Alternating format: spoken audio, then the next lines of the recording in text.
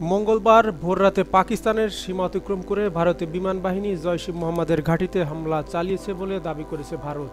ওদিকে পাকিস্তান বলছে, বালাকোটের যেখানে হামলা চালানো হয়েছে, সেখানে জয়শ মোহাম্মদের কোনো ঘাঁটি নেই, বরং ভারতীয় বিমান তাদের তাড়া খেয়ে খোলা মাঠেই বোমা ফেলে পালিয়ে যায়।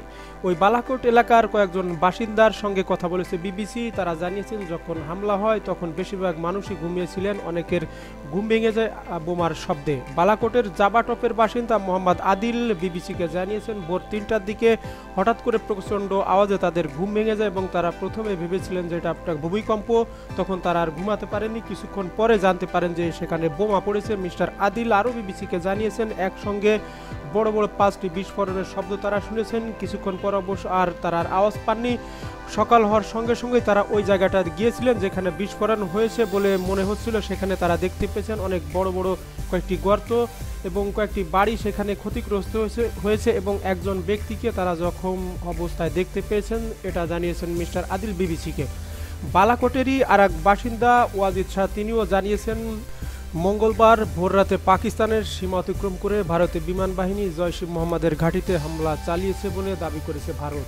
এদিকে পাকিস্তান বলছে, বালাকোটের যেখানে হামলা চালানো হয়েছে, সেখানে জয়শ মোহাম্মদের কোনো ঘাঁটি নেই, বরং ভারতীয় বিমান তাদের তাড়া খেয়ে খোলা মাঠেই বোমা ফেলে পালিয়ে যায়। ওই বালাকোট এলাকার কয়েকজন বাসিন্দার সঙ্গে কথা বলেছে বিবিসি। তারা জানিয়েছেন, যখন হামলা হয়, তখন বেশিরভাগ মানুষই ঘুমিয়েছিলেন, অনেকের ঘুম ভেঙে যায় বোমার শব্দে। বালাকোটের জাবাটপের বাসিন্দা মোহাম্মদ আদিল বিবিসিকে জানিয়েছেন, ভোর তিনটার দিকে হঠাৎ করে প্রচণ্ড আওয়াজে তাদের ঘুম ভেঙে যায় এবং তারা প্রথমে ভেবেছিলেন যে এটা একটা ভূমিকম্প। তখন তারা আর ঘুমাতে পারেনি কিছুক্ষণ পরে জানতে পারেন যে সেখানে বোমা পড়েছে। মিস্টার আদিল আরও বিবিসিকে জানিয়েছেন, একসঙ্গে বড় বড় পাঁচটি বিস্ফোরণের শব্দ তারা শুনেছেন। কিছুক্ষণ পর অবশ্য আর তারা আর আওয়াজ পাননি।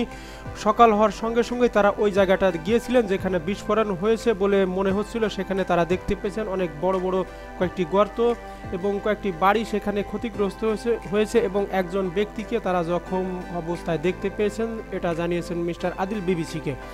বালাকোটেরই আর এক বাসিন্দা ওয়াজিদ শাহ, তিনিও জানিয়েছেন, একসঙ্গে বেশ কয়েকটি বিস্ফোরণ আওয়াজ তিনিও শুনতে পেয়েছেন এবং তারা আওয়াজ শুনে মনে হয়েছিল যে কয়েকটা রাইফেল থেকে একসঙ্গে ফায়ারিং হচ্ছে, কিছুক্ষণ পর তারা শব্দ শুনে, শুনতে পাননি। বালাকোট এলাকার এটি খাইবার পাখতুনখোয়া প্রদেশের মনশিয়ার জেলায় পাকিস্তানের রাজধানী ইসলামাবাদ থেকে প্রায় একশো ষাট কিলোমিটার দূরত্বে এটির অবস্থান। দু হাজার পাঁচ সালে কাশ্মীরে যে ভূমিকম্প হয়েছিল, তাতে বালাকোট সম্পূর্ণভাবে ধ্বংস হয়ে যায়। বেশ কয়েক বছর সময় লেগে গিয়েছিল, শহরটাকে আবারও গড়ে তুলতে। সৌদি আরব এই শহর পুনর্গঠনের যথেষ্ট সাহায্য সহযোগিতা করেছেন। ভূমিকম্পের বালাকোটের বারোটি ইউনিয়ন কাউন্সিল এলাকা ধ্বংস হয়ে যায়। ধ্বংস হয়েছিল প্রায় চল্লিশ হাজারেরও বেশি ঘর বাড়ি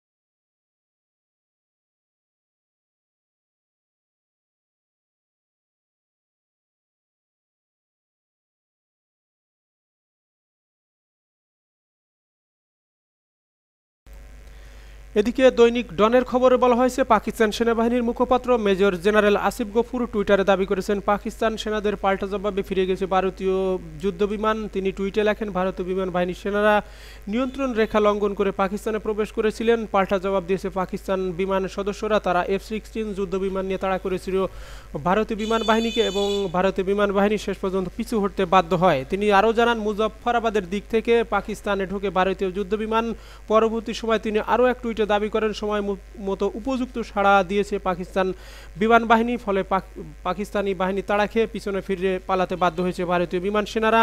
তিনি আরও দাবি করেন, সময় মতো উপযুক্ত জবাব দেওয়া হবে ভারতকে।